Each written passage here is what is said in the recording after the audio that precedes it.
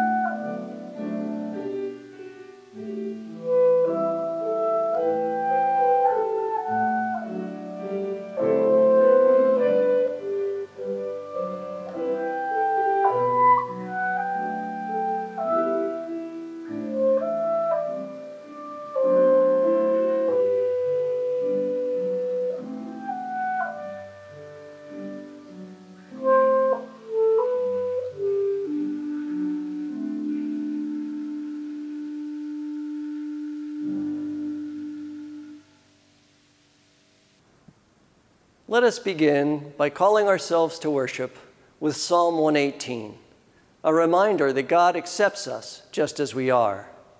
The stone that the builders rejected has, has become, become, the chief cornerstone. This is the Lord's doing. It is, it is marvelous, marvelous in, in our, our eyes. This is the day that the Lord hath made. Let, Let us, us rejoice, rejoice and, and be glad in it.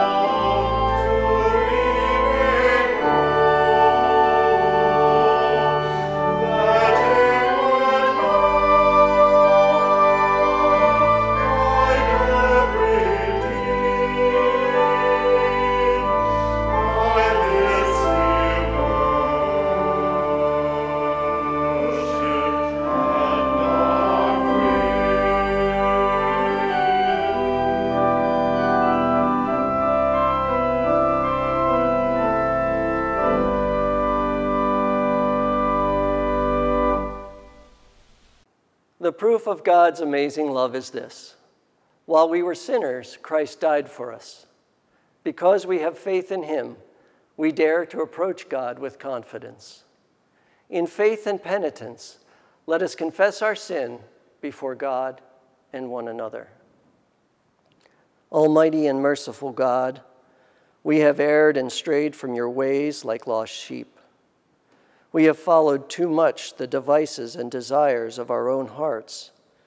We have disobeyed your will. Forgive us our selfishness and our disobedience. Return us to your path and guide us to the still waters of your healing grace. Renew in us a desire to be faithful to you, that we may follow you all the days of our life.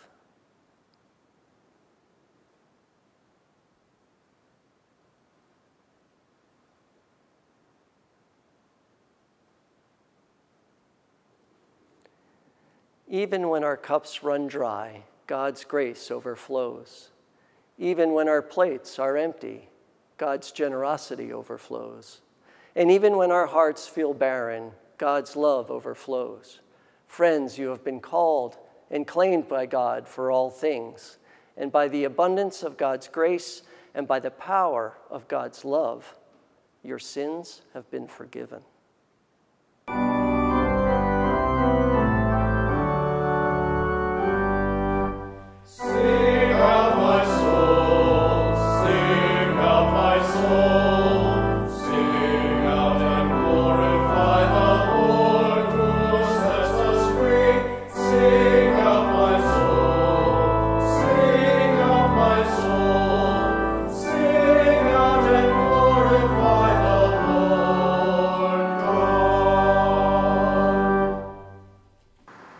Is good. We all want it, but we can't have it unless we give it to each other. Let's take a moment and offer the peace of Christ to one another. If you're worshiping with us on Facebook this morning, take a minute and make a sign of peace in the comments to your neighbors. If you're joining us in some other time or in some other way, simply join us in prayer for peace for each other and for our world.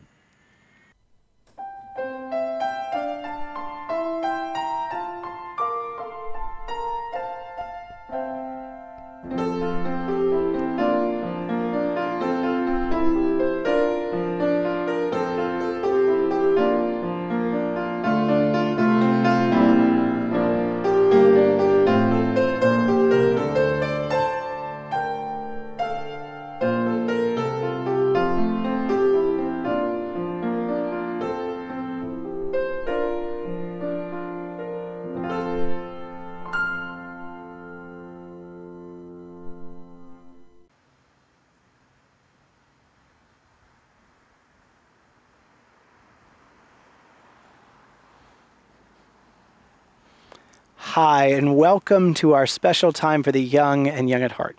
I'm here in our butterfly garden, which our Earth Care team put together this year to support pollinators like butterflies and bees as part of our commitment to take care of the earth around us. And it is buzzing with butterflies right now. Butterflies are a beautiful way for us to talk about what happens when God gets a hold of us. See, a butterfly begins as a caterpillar. It is bound to the ground. It is not so colorful. It is not able to fly. And the caterpillar, when it comes time, is uh, puts itself into a cocoon or makes a cocoon around itself. And when it comes out, it is something completely new, something beautiful and spectacular and holy. When we turn to God and when we let God's love transform us, we too have a transformation. In the Bible, it says, anyone who is in Christ is a new creation. The old life has gone, a new life has come. That's why we say that we are born again. That is, we have been made new by the love of Christ. God wants to change us into something new and holy and beautiful like a butterfly. When we come to Christ and accept Christ as our Lord and Savior, we are made new. Our sins are washed away. Our old life is wiped clean, and a new slate is set before us for us to love and serve the Lord. Will you pray with me? Dear God, thank you for your love that transforms us. Send us out to be pollinators, spreading your love and transformation wherever we go. Amen. Thanks for spending this time with me. A reading from the book of Isaiah, chapter 44, verses 17 through 20. When the poor and needy seek water, and there is none, and their tongue is parched with thirst, I, the Lord, will answer them. I, the God of Israel, will not forsake them. I will open rivers on the bare heights and fountains in the midst of the valleys. I will make the wilderness a pool of water, and the dry land springs of water. I will put in the wilderness the cedar, the acacia, the myrtle, and the olive. I will set in the desert the cypress, the plane, and the pine together, so that all may see and know, and all may consider and understand that the hand of the Lord has done this. The Holy One of Israel has created it. The word of the Lord. Thanks be to God. Let us pray. May the words of my mouth and the meditations of my heart be acceptable to you, O Lord, my rock and my redeemer. Amen. A midlife crisis is a pretty common concept, right? Not everybody has one. Not everybody experiences that particular feeling or need. And not everybody has the resources to dramatically change their life all of a sudden. People have childcare responsibilities or elder care responsibilities. But we get the concept. Sometimes life loses its flavor. And we talk about it in our lives, but we don't talk about it in terms of faith, even though it's just as common. Just about everyone's faith has some long stretch of time where they are wandering in the wilderness. Barbara Hagerty calls this experience spiritual ennui. We have times in our lives where it, it simply feels like we're not connected to the faith that once shaped our lives, and we can't figure out how to get that connection back. We used to see God everywhere. Now we see God nowhere. Where once we looked up and we saw heaven, and now we look up and we just see the ceiling. The feeling of purpose and connection that made us who we are is just gone. Every faith has long stretches in the wilderness. The honeymoon period of new faith ends. Big changes happen in our lives, or no changes happen in our lives for 20 years. And we can't look at the world in the same way that we used to look in the world. Maybe you were a part of the beginning of a new ministry. And when it began, it was growing each and every day, and it was getting more and more exciting. But now you're eight years in, and it's the same volunteers, and it's like pulling teeth to get anybody to do anything. And it just feels emptier than it felt before. Or maybe you have been through something hard and you have prayed and prayed and prayed, but you just feel lost, like everything you do is underwater. Everybody experiences this sometimes. Even people famous for their commitment to faith, Mother Teresa, Thomas Merton, mention long stretches where they don't feel like they're hearing from God in the same way they used to, or even at all. Scripture is full of examples too. Moses spent years in the wilderness before God appeared to him in a burning bush. God gave Joseph dreams, but God also left Joseph languishing in an Egyptian prison for years. The whole book of Judges is just this one pattern God raising a deliverer, and then a few years later, the people's memory starts to fade and they panic and they turn to more uh, tangible gods. Part of the reason that the Word of God is so filled with words of hope is that the people of God were so often filled with despair. A few of us want to admit it to others at church. It feels like a, a failure or an admission of guilt. But it shouldn't be. Part of the journey of faith involves making it through the doldrums, surviving times in the wilderness when your well of faith has run dry. So, this week and for the next few weeks, we're going to talk about what happens when our well of faith runs dry, what to do and what not to do, and maybe even whether or not there's anything you can do. Simply, it's worth knowing that sometimes things will be hard for a long time. And this week, I want to talk about widening your field of vision. When you're wandering in the wilderness and you're not sure that God is with you, widen the field of vision, widen your view of the world. You remember a few months ago, I talked about going to see a meteor shower with my parents. And we went out and we set a blanket out and uh, we looked up at the sky and I looked up and I saw nothing. And it was cold and I gave up. What I didn't tell you is that a few years later we moved to Texas, and in Texas I really did learn to see shooting stars. The sky truly is bigger in Texas.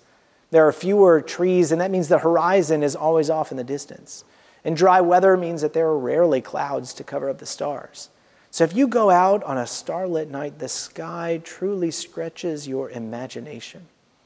And what I learned living out there is that the way to see shooting stars isn't about timing, making sure you're there for a meteor shower, or patience, waiting a long time. It's about learning to widen your field of view.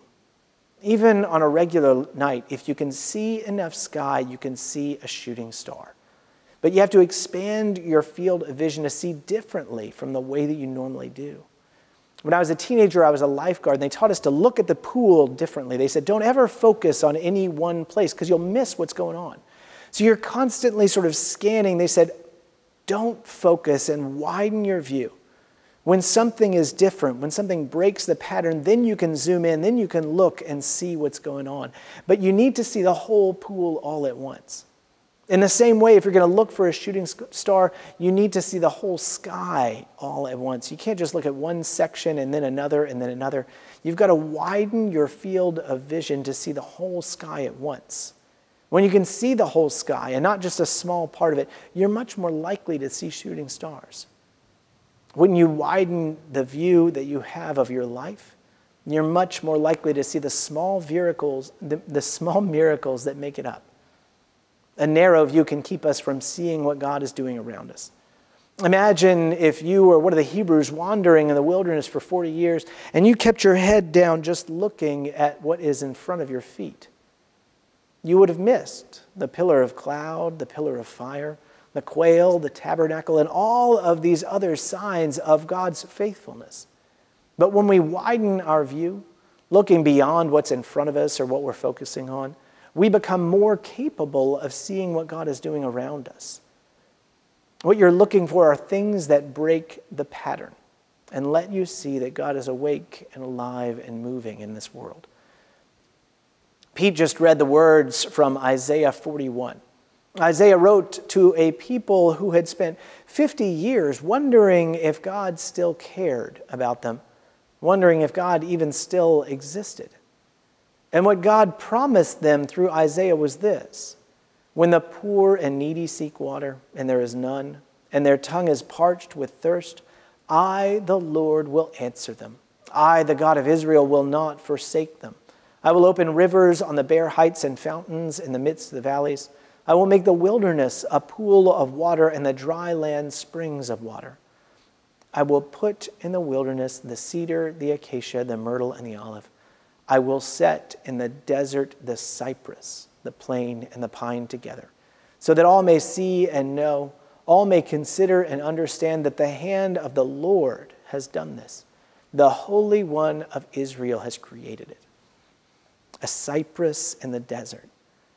If you don't know it, a cypress is a swamp tree. It thrives in a few feet of water with most of its root structure submerged under the swamp and knobby cypress knees poking out. It's not the kind of tree you'd find in a desert. Come to think of it, neither are the acacia, the myrtle, or the olive. This passage is God's promise of abundance, but it's also a guide to how we can know that God is still with us. It is in things that break the pattern. It's in surprising love That's how you know it was God. We know that it was God because God loves to break through, to show us something new and something different, because God sets cypresses in the desert. God puts things in places where we would not expect them. Maybe you have been in the doldrums for a long time and you've been getting letters that tell you how appreciated and valued you are, but they just don't feel like they mean anything anymore. Maybe you can look at them again. Maybe you can widen your view and, and recognize that any sign of love is a sign of God's faithfulness. Maybe it's a, a, a congratulation or an expression of appreciation or a new relationship that has the opportunity to blossom in your life. What we're looking for is things that break the pattern the pattern of frustration, the pattern of misery, the pattern of dryness that swallows up the faith that we try to have. So, as we go forth into our life, we look for cypresses in the desert, glimpses of growth that break the pattern of dryness. Widen your view beyond what's in front of you so that you can see on the horizon the pillar of cloud and fire, so that you can see beyond and recognize what is going on at the horizon. Finally, and I can't stress this enough, regular daily prayer will change your life. The rhythm of daily prayer changes your heartbeat. It beats a pathway between you and God. So pray when you feel like it and pray when you don't feel like it. Pray when you're happy, pray when you're afraid, and pray when you feel nothing at all. Even when it feels like it is a waste of words. Writer George Bernanos says if you can't pray, at least say your prayers. Even going through the motions, building that constant connection is a way of sustaining yourself. It's a way of widening your eyes because if you check in with God every single day, you open your eyes to a much bigger field of vision. You open your eyes to the possibility that God can act in every single one of your days. At any given moment, God could surprise you. Yeah, sometimes things will be dry and maybe even for a long time. That's faith. Renita Weems says this is the spiritual journey, learning how to live in the meantime, between the last time you heard from God and the next time you hear from God. So even if it has been a really long time, know that it's coming. And try this take one question about your life, ask it over and over and over, and wait and look for the answers. You never know. Maybe you will see that cypress in the desert, the miracle that breaks the pattern and restores you again into the joy, the wholeness, and the peace of deep and abiding faith. Now let us join together in that prayer, saying these words that have been carried for us for generations from the great cloud of witnesses that has come before, let us proclaim our faith using the Apostles' Creed. I believe in God the Father Almighty, creator of heaven and earth. I believe in Jesus Christ, God's only Son, our Lord, who was conceived by the Holy Spirit, born of the Virgin Mary, suffered under Pontius Pilate, was crucified, died, and was buried. He descended to the dead. On the third day he rose again. He ascended into heaven. He is seated at the right hand of the Father. And he will come to judge the living and the dead.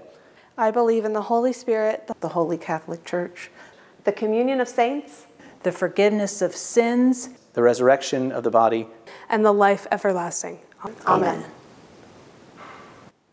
Everything that is good comes from God. In joyful thanks, let us give generously to God out of our abundant blessings.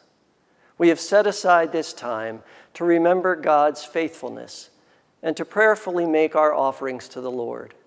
You can give to the church online at pitmanpres.org/giving or mail in a check to the church office.